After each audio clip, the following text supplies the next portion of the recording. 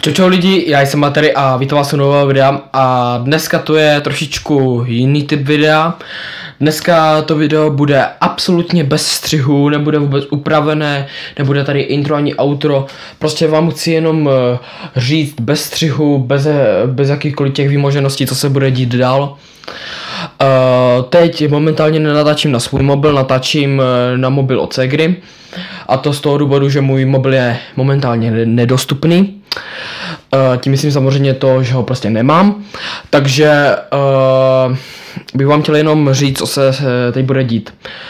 Uh, až do teďka jsem se věnoval věcem, které mě bavily, jako YouTube, různé volné sporty a tak dále. A kašlal jsem na věci, které jsou pro můj život důležité, jako například škola. A právě proto vám dneska uh, vám dneska 7. dubna 2019 oznamuji, že uh, oficiálně si dávám velkou pauzu od točení, začnu točit asi až zase o velkých prázdninách, uvidíme. Každopádně je jisté, že teď opravdu hodně dlouho nevyjde video, takže nemějte strach, nic se nestane, i když nevím, jako mám ani na 200 odběratelů, takže nevím, jestli by vůbec někdo měl strach.